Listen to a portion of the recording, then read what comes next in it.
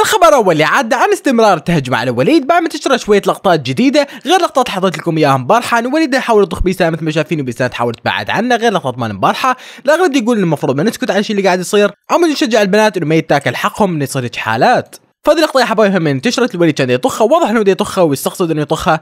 وهي تحاول تبعد اكو يكتب لنا بالكومنتات شو رايكم بهذه اللقطه واللي صار. ننتقل حاليا لأحمد أبو وصبي يا حبايب وصول قناتهم العائليه لل 500 ألف متابع. فإن شاء الله ألف مبروك عقبال ملايين يا رب. وطبعا تسوني يا حبايب تباركوا لهم بالكومنتات على هالإنجاز. وطبعا هم نزلوا امبارحه مقطع أول كان بعنوان فضحه صبا.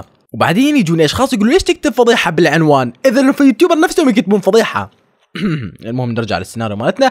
فاكتبوا لنا حبايب بالكومنتات شو رايكم بهذا الخبر. ننتقل حاليا لعيد ميلاد ال YouTuber. يا حبايب بالنسبة لأول واحد عيد ميلاد اللي هي سيمو. عيد ميلاد اليوم يا حبايب فكل عام وأنتم بخير عقبال مليون سنة يا رب. وطبعا لا تنسون يا حبايب تعايدوها بالكومنتات. على عيد ميلادها. أما بالنسبة للشخص الثاني يا حبايب واللي هي قمر الطائي اللي نزلت هذا ال story يا حبايب اللي كاتبة منه عيد ميلاده بعد سبعة أيام واللي هو عيد ميلادها يا حبايب بعد أسبوع. فكل عام خير مقدما واكتبوا لنا بالكومنتات شو رايكم بهذا الخبر. ننتقل حاليا لنارين بيوتي يا حبايب وقصفه لاحمد أبو الرب أو مو فلوجز فنزلت هذا الستوري يا حبايب نوعا ما كانت بطريقة استهزائية كاتبة بي يقول الشاعر الفلوس ما تسوي الرجال أكيد يا حبايب هي تقصد يا أحمد أبو الرب رد عليه بعد المقابلة اللي طلع حكى عليها. يا معلم فلوجز إحنا نعرف إنه عنده فلوس. ما أدري صراحة من الكومنتات شو رايكم بهذا الخبر. ننتقل حاليا شهد وسمد يا حبايب وسمد تنزيل هذا الستوري اللي من خلال انه إن شاء الله شهد اليوم راح تولد. فالله يقومها بالسلامة يا رب طبعا هو داعي طالب إنه يدعي لها. فالله يقومها بالسلامة يا رب. وطبعا يا حبايب تدعوا لها إن الله يقومها بالسلامة يا رب. وبس لها وصلت المقطع المقطع فجروا مقطع لايكات وبس عشانكم فزي مقابلك القصص أحبكم. مع السلامة.